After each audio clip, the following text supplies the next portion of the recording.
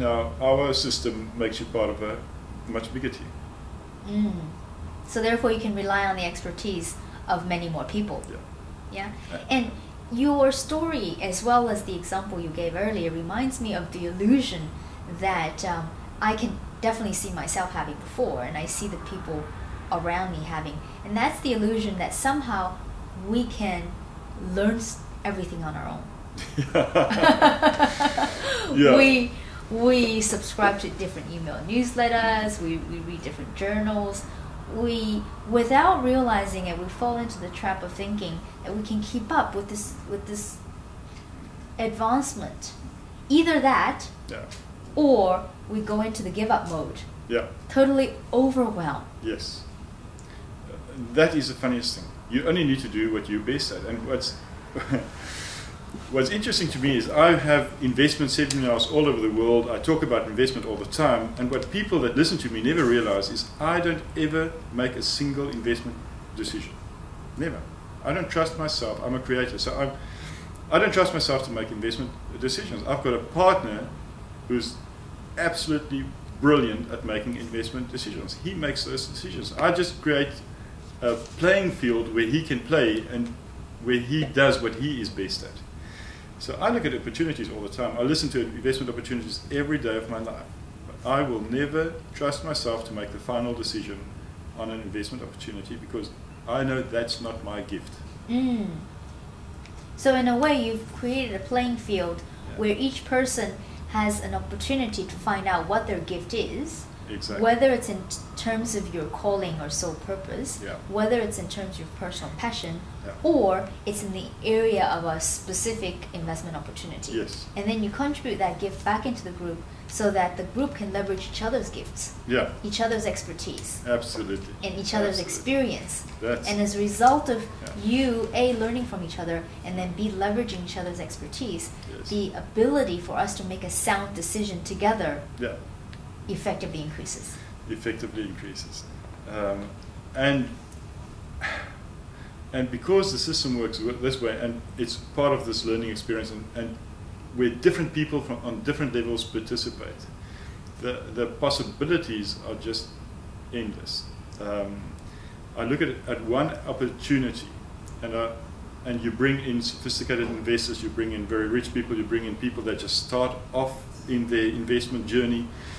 And once they've all looked at this opportunity, they see different ways of structuring the opportunity, different ways of, of, of, of, of uh, drawing up the contract, different ways of combining this opportunity with other existing opportunities or partners. By the end, by the time everybody's finished with this opportunity, thinking about it, it's just something new. And that Mm. is sometimes we. Pres- I don't even talk about our returns anymore because every single time I talk about the returns first, people say, "No, this is not possible," and they withdraw. Of course, it's not. I think from a middle class thinking, Yeah, and or from the perspective that previously were uh, the most retail investors have no access to those type of Yeah. investment opportunities. It's true that it's not possible because Yeah. in the world that they, they're standing in, in the worldview that they're standing in, Yeah. it is not possible. Yeah, And I was in that worldview before. yeah. I was very much trapped yeah, out of, you know, inside of that middle class, out of uh, uh, false comfort, Yeah. out of knowing that I can rely on ex- uh, uh, work experience, rely on expertise, whatever it is that I thought I was relying on. And in the end, in today's economy, even when the best talent gets retrenched, Yeah. even the best tra- talent gets. Cut back Yeah. because even what we thought were the best corporations Yeah. are falling away. yeah. That's where the true risks are surfacing is that we don't have the, the personal financial responsibility to manage our own money is what's killing us. That's exactly. You know, one of the biggest compliments I ever had was a woman that came to me and said, "You made me fall in love with an area of my life I would never even considered as important."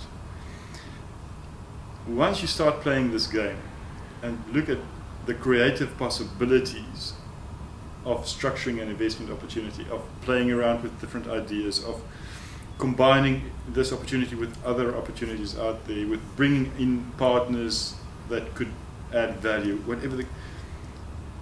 It is such a creative process, so Mm. interesting. It is exhilarating. It is more than exhilarating because you're putting money down. It is, uh, adrenaline pumping, Absolutely exciting. exciting. and people just start enjoying this game, which is a serious game because it's not just a game; it's a game where you actually put down money. Um, but people start enjoying this game and just falling absolutely in love with it. Wow. And then I've got to warn them again: it's not about making money. Mm. That's just it's about the purpose behind it. Mm. Because you know what? Every time the, the focus becomes money, you lose it. And I've seen this happen to people every single time. When the focus becomes money and not the purpose behind it, um, money itself can never be a purpose on its own. It just cannot be. It's never Yeah. meant to be. I think when the focus is on the money, uh, what I've observed is that people either get it over exhilarated Yeah. and or um, too depressed from, from the mistakes so that we actually allow the emotions to impact us yeah. Instead of looking at this as just a step in my learning journey. Yeah. I'm curious, have you played the cash flow game? Yes, You course. have?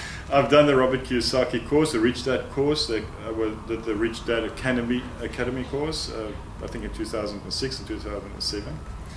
And um, at that stage, I was I was uh, nominated the top student in the world, and it was a, a fantastic experience. I really enjoyed it. My my, my wealth coach was Liz, Lindsay Indu, and we had a great time uh, thinking about wealth creation.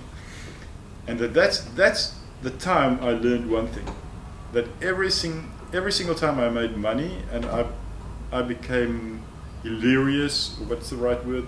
I became very Exhilarated, exhilarated, happy. excited about. I lost that money, so I learned to say when I make money, I say thank you, thank you, I love you, thank you that you're in the bank, and then I continue to focus on what I need. Just knowing I've got bigger fish to fry. I see. So it's almost true, or, or it's almost like saying in an investment game, too much happiness is dangerous. Yes. you can celebrate. you become overconfident or what I don't know what happens, but every time I I get too happy about the money I make, I lose it. Mm. And every time I, I just acknowledge that money and go back to focusing on my purpose, then that's when I stay focused. So I've learned to appreciate money, but not to get delirious about it. Fantastic.